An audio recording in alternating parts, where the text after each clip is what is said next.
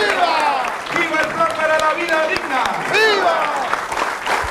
Se siente, se siente. Maribel presidente. Se siente, se siente.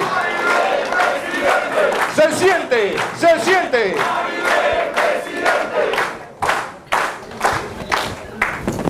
Buenas tardes, profesora. Buenas tardes. Buenas tardes a todas y todos. Un saludo cordial a todas las organizaciones que nos acompañan esta tarde. Aquí se ha hablado del fenómeno Maribel, un fenómeno que no existe, porque lo que existe es un pueblo cansado, hastiado de una política económica que atenta contra la vida. Hoy queremos presentar ese plan para la vida digna. El plan para la vida digna que estamos proponiendo para el periodo 2024-2029 y que lo hemos calificado como la opción correcta. Y yo creo que eso es un elemento importante. Lo primero que quiero señalar, el plan para la vida digna es un proceso, un proceso que no surge hoy, es un proceso que el movimiento social panameño ha venido construyendo desde sus necesidades, desde sus experiencias, desde sus luchas, sus luchas en las calles, esas que son satanizadas, porque dicen que asistir a las calles es atentar contra la economía del país. Una economía que ha respondido a un minúsculo grupo de personas. Y por eso nosotros hablamos de procesos, un proceso que ha sido participativo. En la construcción de este plan han participado diversos compañeros profesionales de distintas, de distintas disciplinas. Han participado dirigentes de organizaciones sociales y gremiales. Pero también tengo que decir que es un proceso abierto, un proceso en construcción y por eso seguimos llamando a todas y a todos los que creemos en el Panamá con justicia y equidad a que se incorporen.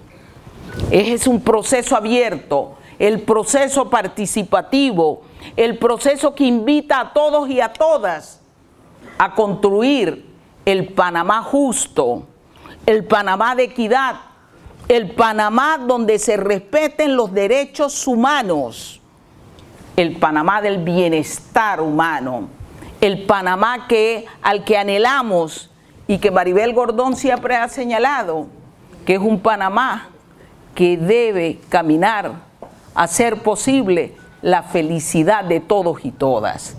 Yo creo que eso es importante que lo rescatemos. ¿Cuál es nuestra referencia en lo que hemos denominado el plan para la vida digna? Hay algunos elementos que creo centrales establecer en este momento. Lo primero y fundamental es una ruptura con el actual modelo económico, con el neoliberalismo.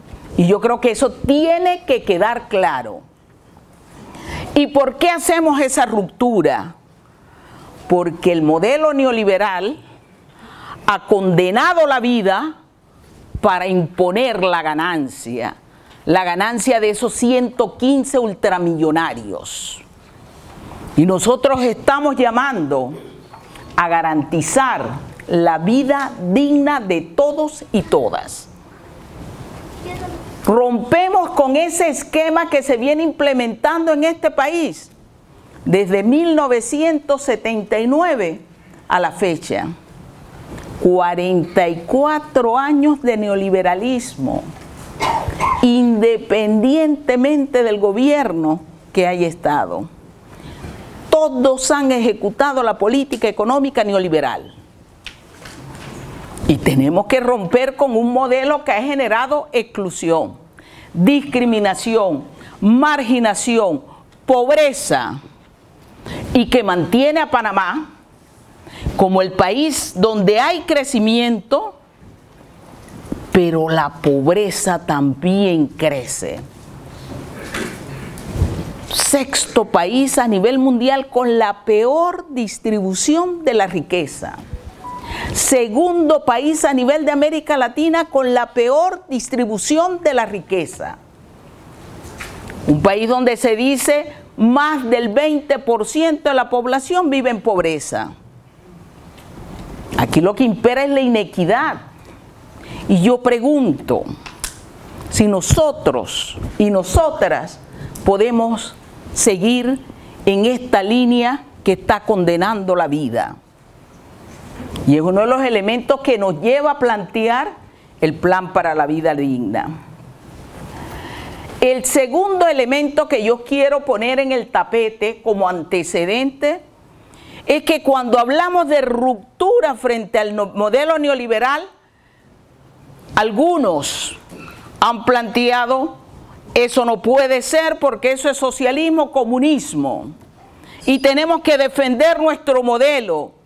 Cuando hemos construido el modelo neoliberal? ¿Es un modelo panameño? Y la respuesta yo creo que para todos y todas es que no. Aquí las instituciones financieras internacionales impusieron las medidas de política económica neoliberal, que significó desregulación estatal, flexibilización laboral, desmantelamiento del agro y la industria, una política regresiva en materia tributaria, una condena a la población trabajadora a través de dos vías, reformas al Código de Trabajo y reformas a la seguridad social. Un modelo que nos ha impuesto derroche energético. Un modelo que ha impuesto degradación ambiental. Un modelo que ha generado y provocado y profundizado corrupción. No es un modelo de los panameños y de las panameñas por lo menos no es un modelo del 98% de la población de este país. Y yo creo que es otra de las materias que tenemos que establecer y dejar con claridad. El tercer punto, que fue un punto polémico en, en julio del 2022, cuando nos levantamos y dijimos hay que cambiar el modelo y tuvimos que decir y explicar que una cosa es sistema y otra cosa es modelo económico. Yo no sé si por ignorancia o intencionalmente en algunos medios de comunicación social se insiste en valorar el elemento como la misma cosa. El modelo tiene que ver con la política económica el modelo responde a un sistema así, pero el propio sistema capitalista ha tenido varios modelos en el transcurrir de su proceso. Un modelo que hoy a nivel mundial dicen está agotado, el neoliberalismo, que en el conjunto de la comunidad internacional se debate otras posibilidades algunas bajo el pensamiento liberal y otras bajo otros criterios de pensamiento. Pero es un, modelo agotado. ¿Cuándo se agota un modelo? Cuando no puede garantizar siquiera las condiciones por las cuales surge y para las que surge. El neoliberalismo dice, avala el mercado de competencia perfecta. Dice que defienden la propiedad privada. Pero el, el neoliberalismo genera fusiones económicas. Las fusiones económicas son concentración y centralización de capital. donde hay concentración y centralización de capital, surgen los monopolios y los oligopolios. Y monopolio y oligopolio atentan contra el llamado mercado de competencia perfecta. Atentan contra la propiedad privada que dicen defender. Y atentan en el sentido de que concentran. Cada vez la concentración de capital en Panamá es más alta.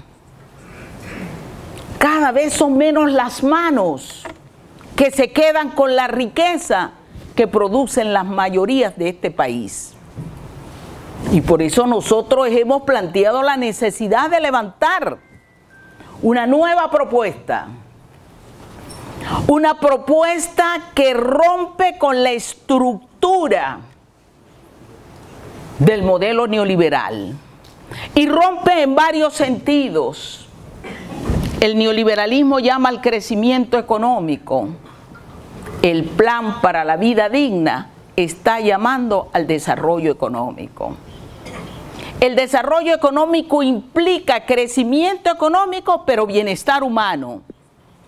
No es posible que aquí en este país, en un país de riqueza, cada vez hayan, existan más niños que mueran por desnutrición. Aproximadamente un millón de panameños malnutridos. 60% de la población en informalidad laboral. Un conjunto de elementos que tienen que ver con la destrucción de derechos. Porque resulta ser que en este país se viene desmantelando los derechos a la salud, a la educación, a la vivienda, al acceso al agua potable. Se viene desmantelando la seguridad social para favorecer la ganancia, la máxima ganancia como denominan ellos un sistema que se ha hecho más regresivo desde el punto de vista tributario. Un país donde la evasión fiscal es alta. 66% del impuesto sobre la renta de las personas jurídicas están en evasión. 33% del ITBMS que nos descuentan no llega a las arcas del Estado. ¿Quién carga con una mayor relación tributaria en el lado del consumo y no en el ingreso? Cuando se carga el consumo se castiga a la población con menos ingresos. Y el modelo neoliberal decidió castigar el consumo.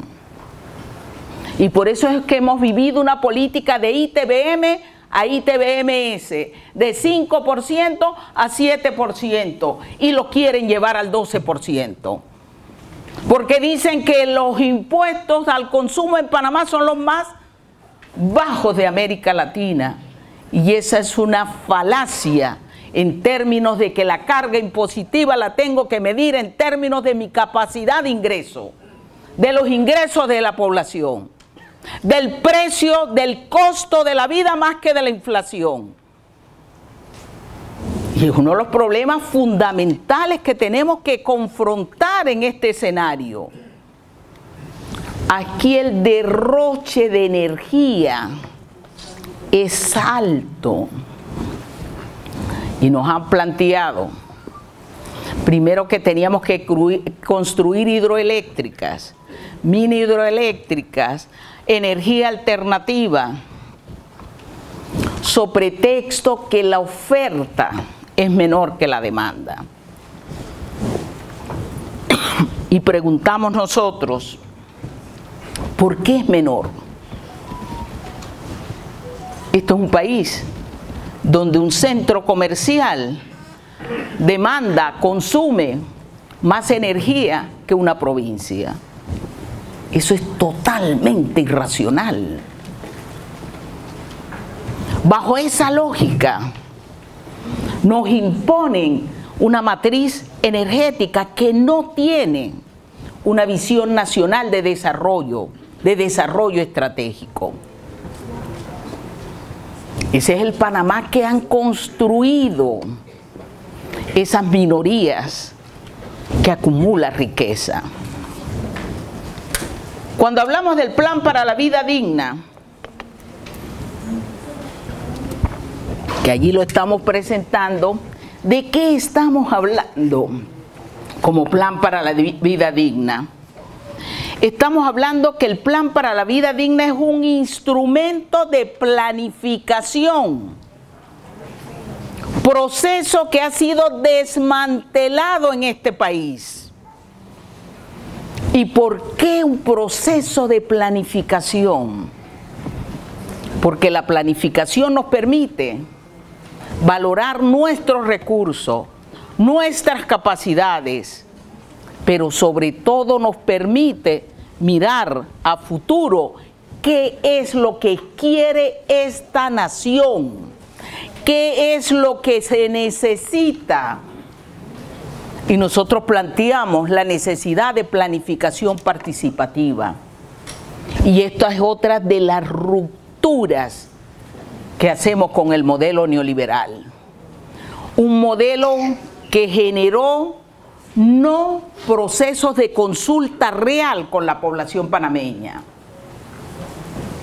Nosotros estamos planteando que en todo tema neurálgico del desarrollo nacional y social debe haber participación directa de los panameños y las panameñas, de los que residen en este territorio.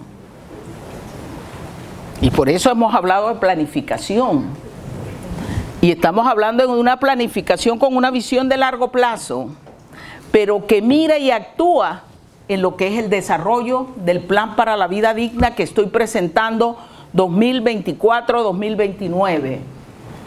Y que estoy planteando que es un proceso abierto, que tienen que ayudarnos a completar, a construir, pero que también estoy diciendo que a partir del 2024 cada uno de ustedes debe contribuir, participar en su ejecución.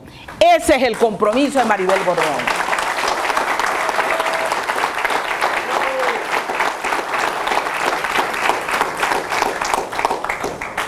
El plan para la vida digna marca una nueva realización del quehacer público un quehacer público que aquí ha estado sumergido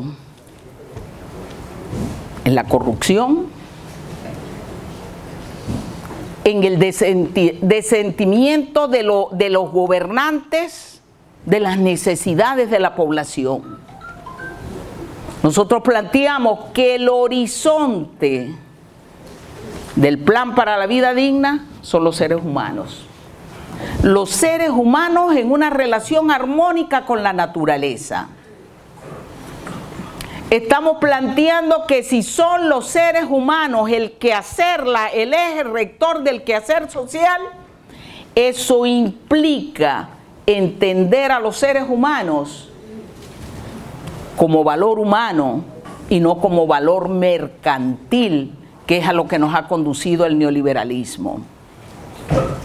Somos seres humanos de necesidades, pero también somos seres humanos de producción, de creación. Y tenemos que comprender eso, eso como valor humano para la vida digna. Estamos hablando del bienestar humano y como bienestar humano, ¿qué es lo que estoy entendiendo? ¿Qué es lo que estamos proponiendo? garantizar todos los determinantes que hacen la vida saludable. Y cuando hablamos de los determinantes que hacen la vida saludable, estamos hablando, sí, de salud, de seguridad social, de vivienda, de acceso al agua potable, de alimentación sana y fíjense al estado que hemos llegado que le tenemos que poner apellido a lo que debería ser algo natural, porque la alimentación no puede ser insana. Pero en las ansias de ganancia se imponen en nuestros países alimentos que no reúnen las condiciones, las características de inocuidad y que garanticen adecuadamente las condiciones nutricionales. Estamos planteando que en el tema de los alimentos, este país tiene que dar una gran discusión. Y esa discusión pasa por levantar al sector agropecuario. Tenemos que garantizar seguridad y soberanía alimentaria. Abandonada porque aquí se privilegió a los sectores importadores. Y eso ha traído sus repercusiones, no solo en el plano económico, sino en el plano de la salud de este pueblo. Nosotros llamamos a la seguridad y a la soberanía alimentaria y nutricional. Estamos planteando la necesidad de construir una sola canasta básica. En este país existen tres canastas básicas y la que se impone es la de hábitos de consumo. Y cuando imponen la de hábitos de consumo, a menor ingreso y precio más alto, ¿qué es lo que está consumiendo el pueblo panameño? Nosotros llamamos a la canasta saludable. La canasta saludable incluye alimentos, acceso al agua potable y otros servicios y bienes necesarios para la vida. Yo creo que ese es un elemento fundamental. ¿Y por qué fundamental? Porque en este país cuando se define salario mínimo, la base de la discusión es la canasta básica de hábitos de consumo. Y decía la OIT, en el 2022 los salarios en este país perdieron capacidad de compra en un orden del 26.6%. ¿Qué es lo que consumimos? El triste papel que vimos en las declaraciones del ministro hace uno o dos días. El ministro, caramba, el presidente inmediatamente debió despedirlo. Pero eso no pasa en este país. Un ministro que defiende intereses del gran productor Dice que si aumenta la canasta en un centavo, ¿por qué nos quejamos y lloramos? Y aquí nos retrotraemos nuevamente a la discusión del año pasado, cuando yo los increpaba y les decía, no es lo mismo un centavo en un salario de 10 mil, 15 mil, 20 mil dólares que en el salario de 250, en la pensión de 160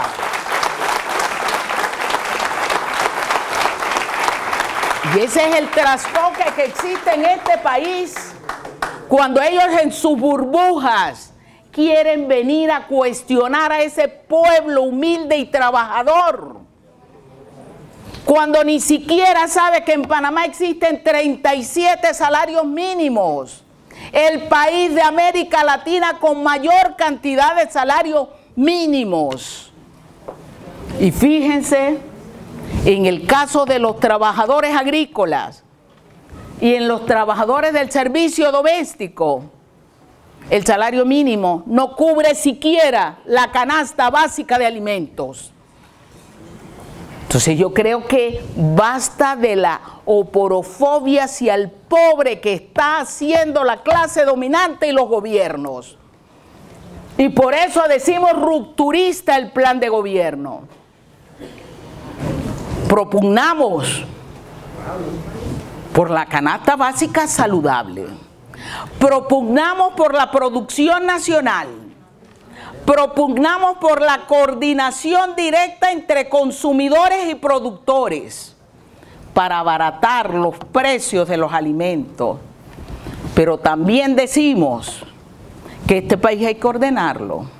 Y ordenarlo implica tocar algo a lo que se rehusaron en la mesa única de Penonomé. Y es que tenemos que hablar de la estructura de distribución y comercialización en este país que tienen un carácter oligopólico y monopólico. Y todos los economistas saben que donde hay oligopolio y monopolio, las valoraciones, los precios son más altos. Entonces tenemos que atacar el problema por sus causas y no por sus efectos. Porque cuando lo que valoramos son los efectos, el problema no se resuelve, pero sí genera clientelismo político, que es lo que hacen los gobiernos. Nosotros estamos hablando de crear empleo digno con salario justo. Y dicen, bueno, por allí vemos hoy a candidatos ofreciendo 200 empleos, 400 empleos. Eso es irresponsable. En primer lugar, porque no todo el que está buscando hoy trabajo debería estar en el mercado laboral. Debería estar estudiando muchos de ellos esa población joven que ha desertado y que el Estado ha sido incapaz de darle una respuesta. Tenemos que buscar las causas de la deserción escolar y no son las que se quieren aquí colocar. Dicen la frustración de los jóvenes frente al sistema educativo. La frustración del joven que no quiere estudiar Ahí se que llama Nini, irrespetuosamente Nini. Porque está el caso de las chicas, de las jóvenes, que muchas veces tienen que desertar porque asumen su rol reproductivo del cuidado y se ven obligadas a salir de los planteles de estudio. Yo creo que por allí hay que empezar a abordar el tema. Tenemos que abordar el tema desde la perspectiva de qué tipo de trabajo queremos generar. Y nosotros estamos diciendo empleo estable. Aquí se basan en los megaproyectos que generan inestabilidad laboral. Los empleos tienen que ser estables. Y para que sean estables, la producción agrícola, industrial, es una base de dar empleo estable. Estamos planteando empleo desde la perspectiva tecnológica y de la innovación. Pero eso demanda que el presupuesto de inversión y tecnología se incremente. Un país en donde el presupuesto para el desarrollo y la innovación no llega al 3%. Estamos condenando el futuro. Nosotros decimos hay que crear esas oportunidades porque las capacidades las tenemos. Se trata de canalizar recursos, recursos para el estudio, recursos para la investigación, recursos para el desarrollo, para la innovación, para la tecnología. ¿Cuál tecnología? Aquí creen que porque cargamos un celular tenemos tecnología. Eso no es tecnología. Ese es el instrumento. Y tenemos que valorar esa condición. Nosotros tenemos chicos y chicas con las capacidades para generar software desde la perspectiva de nuestras necesidades productivas. Pero eso no le ha interesado a los gobiernos no le ha interesado a los sectores del gran poder económico, porque ellos prefieren seguir en el rentismo, transitismo de comprar barato y vender caro.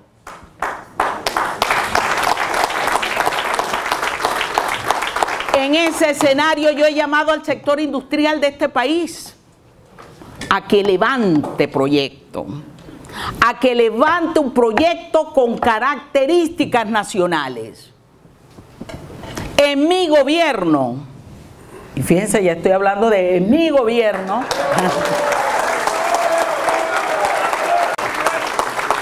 con los sectores productivos serían los primeros con los que nos sentaríamos a conversar. que se comprometan con el desarrollo nacional y social.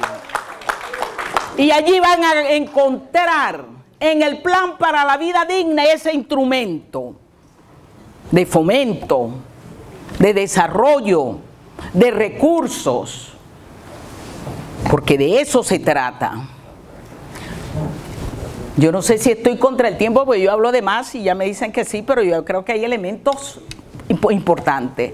Yo quiero hablar que en el plan para la vida digna comenzamos un proceso de rescatar derechos, esos que nos han sido quitados, arrebatados y que no surgieron producto de dádiva, de grupo, de poder económico o gobierno alguno. Y me refiero al derecho a la salud y estoy llamando a salud preventiva.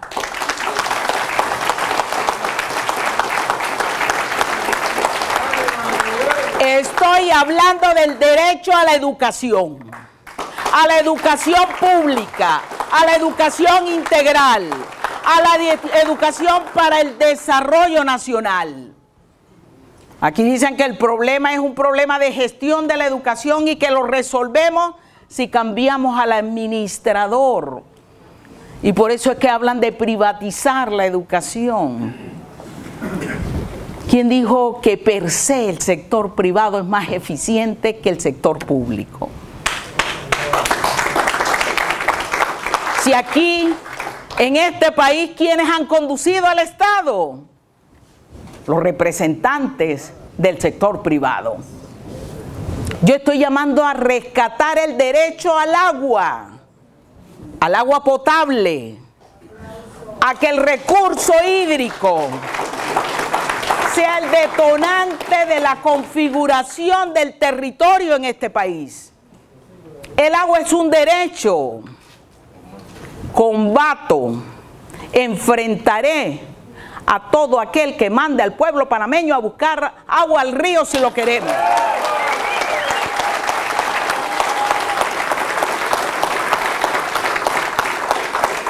La seguridad social es un derecho. Y fíjense, es uno de los mecanismos de distribución del ingreso. Pero aquí la seguridad social se quiere ver desde la óptica de la privatización, de la administración privada de los fondos. Pero lo más triste, lo más lamentable y que combatiré, esté en el gobierno o no, las medidas paramétricas. Porque las medidas paramétricas condenan la vida. Nos dicen que tenemos que trabajar más, pagar más y morir temprano. Y a las mujeres nos condenan porque dicen, y ahí está Gloria, defensora de las mujeres, dicen que vivimos demasiado. Y yo pregunto, ¿no tenemos derecho después de haber dado el elemento a la vida reproductiva y a la vida productiva. Y yo llamo a las mujeres a defender nuestros derechos. Y nuestros derechos pasan por la lucha en el escenario social. Tenemos el derecho a la jubilación digna nos quieren colocar medidas paramétricas que son recurrentes y que no son respuesta y que nos dicen que en lugar de que la tasa básica de reemplazo sea del 60%, sea del 40%. Y llaman a cuentas individuales, porque el FMI no sé por dónde se le ocurrió decir que las pensiones en Panamá son generosas.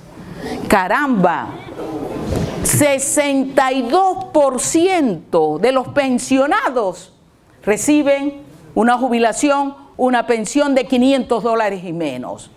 ¿Dónde está la generosidad en un país donde el costo de vida supera los 1.500 balboas mensuales? Y es uno de los temas que tenemos que colocar en el tapete. Nosotros llamamos a la seguridad como derecho. Me opongo, me opondré y tenemos propuestas.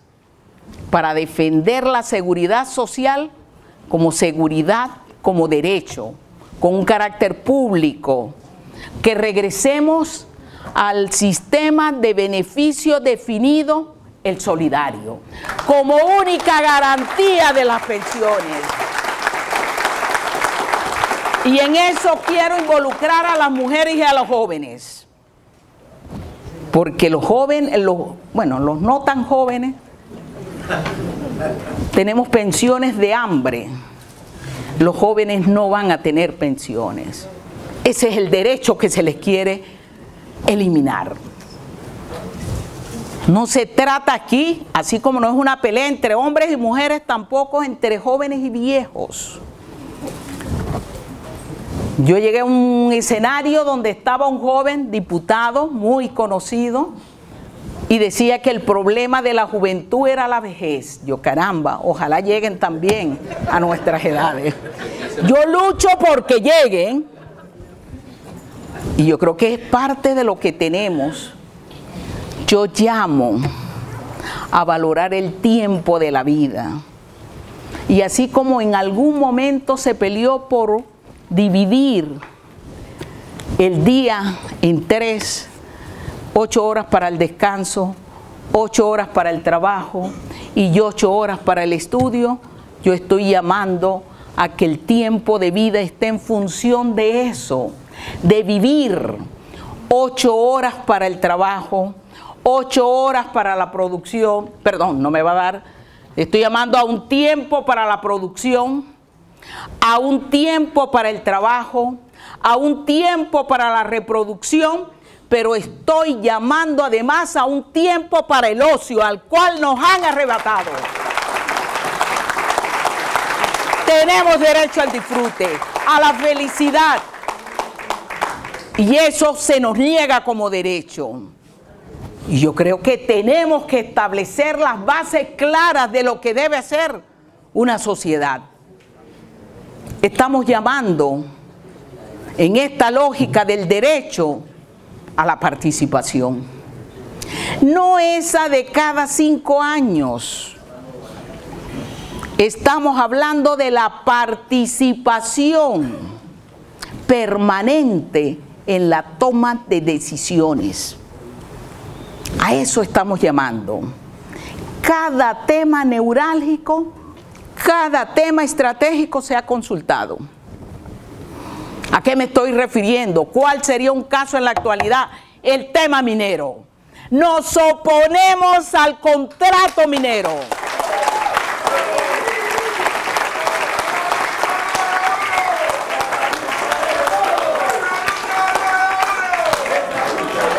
Yo no puedo condenar la vida con proyectos que son lesivos al ambiente, a la salud y a la vida misma.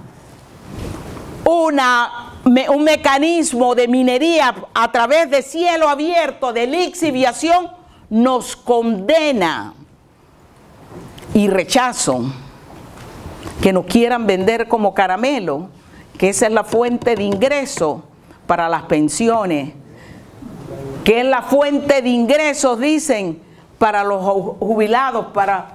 Eso no es posible porque estamos violentando nuevamente a quien ha sido violentado. Y por eso lo rechazamos, un contrato que ha sido inconstitucional, ilegal, que no es cierto que entrega mayores recursos a nuestro país. Pero además los economistas siempre hemos dicho, hagamos un análisis de costos de oportunidad. Y si a ellos, yo no sé por, si aquí está la gente de Azuero, que hacen algunos años, allá están, allá está el compañero productor también, hicimos un recuento. ¿Cuánto se generaba con la agricultura, la ganadería, la silvicultura, la porcinocultura, el turismo ecológico, la artesanía? Y eso daba mayor contribución al Estado panameño sin las afectaciones ambientales que genera la minería. Se habla de que hay bolsas y bolsitas, Pero es un contrato que tiene que ser rechazado. Y creo que vamos a tener que rechazarlos en las calles. En esto tenemos que ser realistas.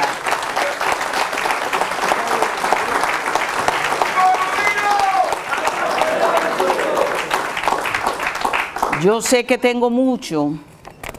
Estoy hablando de la necesidad de reformar el Estado. Un Estado que ha dejado de representarnos. Un Estado donde todas sus instituciones están en crisis. Y aquí incluyo al Tribunal Electoral. No solo el Ejecutivo, el Legislativo y el Judicial. El Tribunal Electoral también un Estado que ha dejado de atender lo que los economistas llaman el objetivo económico de la política económica, que es atenuar algunos problemas sociales. Ni siquiera eso es capaz de realizar. No es un secreto, yo creo en la necesidad de crear condiciones para la constituyente originaria.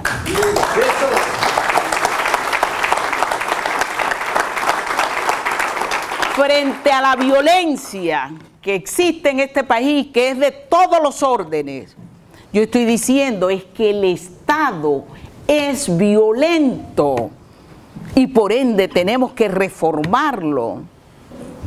Los panameños y las panameñas de todos los sectores tenemos que sentarnos a un real debate en definir cuáles son las normas que deben conducir a este país para alcanzar la justicia y la equidad social. Creo en la necesidad de construir un plan nacional de energía, una matriz energética en función del desarrollo nacional y social. Yo llamo al sector público a que sea construido nuevamente. Aquí hay una institucionalidad vacía, una institucionalidad que no responde a las necesidades y a los problemas. Y por ende creemos en un sector público que debe caminar, si bien a la a la eficiencia, yo llamo que camine hacia la eficacia. ¿Y qué significa la eficacia? Alcance de objetivos. Y aquí el quehacer público se aleja de los objetivos. Nosotros planteamos ordenar el presupuesto nacional en función de los objetivos nacionales y sociales. Priorizar la disposición de los recursos en función de la satisfacción de las necesidades fundamentales y para las mujeres, para nosotras las mujeres, me comprometo a elaborar el primer presupuesto con equidad de género.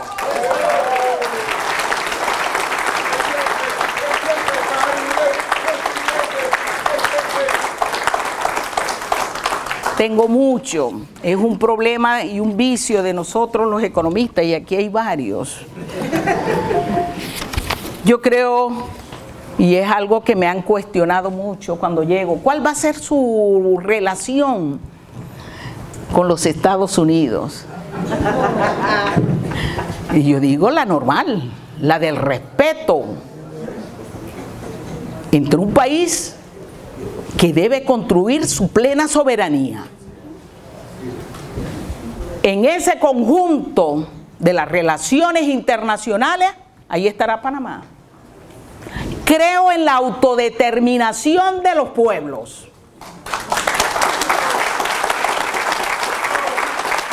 Y por allí me dicen que eso no es respuesta.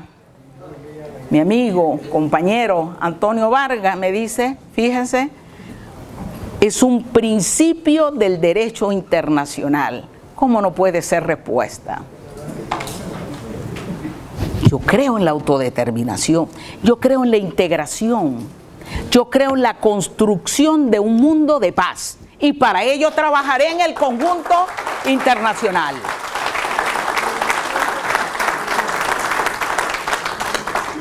Sé que se me quedan muchas cosas en el tintero, Cuanto a la justicia. La justicia, bueno, aquí hay muchos abogados también. No he oído nada. Yo creo en justicia. En este país no hay justicia. Aquí hay una justicia para los de cuello blanco y otra para, como dice Victoriano, el hijo del cocinero. No son iguales, pero justicia tardía no es justicia. Nosotros creemos en la necesidad de levantar un proceso en donde efectivamente la justicia tenga que ver con la definición del actuar social de este país. Una justicia donde no se discrimine por el hecho de raza. Si somos negros nos tratan de una manera. Si vengo de una comunidad, cuando llegué me decía Carlos Herrera, aquí traje al, al barrio. Yo dije, yo vengo del barrio. Yo me crié en San Felipe. Si soy originaria como me declaré en el censo, originaria, me discriminan. Si soy mujer, nos discriminan. Si eres joven, te discriminan. Y si eres niño o niña, te violentan. Eso hay que cambiarlo. Y es a lo que estamos llamando. A construir una justicia, una política de criminalización también. Que es donde estos elementos sean superados. Yo no creo en una justicia de castigo, punitiva, represora, porque lo que estoy haciendo es violentando aún más una sociedad que quiero que sea de paz. Entonces es un tema que hay que discutir y tengo que discutir con los abogados. Yo siempre he sido una abogada frustrada.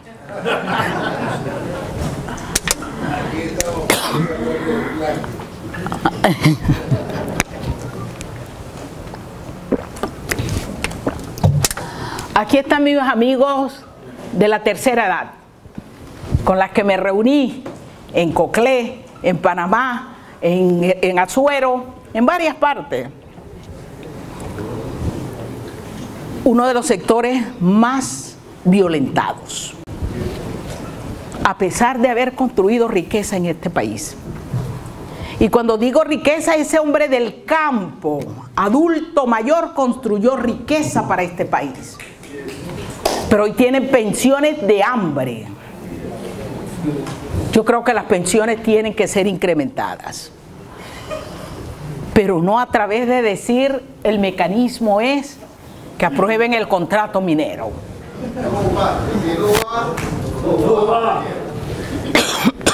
¿De dónde van a salir los recursos? Me disculpan. Y sé que algunos han sido diputados de los que están acá. Caramba, quítenle a los diputados todas las canonjías, que vivan de su salario. Quítenle al presidente todo gasto suntuario, que viva de su salario. Y no a los ministros, a los magistrados, al director de la ACP. Quítenle las canonjías. A Valderrama. Y yo he dicho, y no ahora porque estoy en campaña, por ahí anda, no sé, Saúl, Genaro, los obreros. Caramba que el salario de un presidente, de un diputado, sea cinco veces el salario mínimo. Si ellos quieren que les aumente su salario, tienen que aumentar los salarios mínimos. Generemos oportunidad y equidad. Y eso lo hemos planteado no de ahora. Creo que me debo ir, pero me debo ir con la siguiente frase. Fíjense, hay una obra que se denomina la economía para la vida, de un economista, teólogo, recién fallecido, Frank Hickelamer. Y en el prefacio de esa obra citaba a Hernán Dali y a John Koff. ¿Y qué decían? Esta generación afronta dos caminos. El camino de la vida y el camino de la muerte. Esperamos que la humanidad escoja la vida. Yo agregué, estoy segura que los panameños, las panameñas, elegiremos el camino de la vida digna y lo haremos valer en el 2024. Tercos, tercas, terquísimos, hasta la victoria final.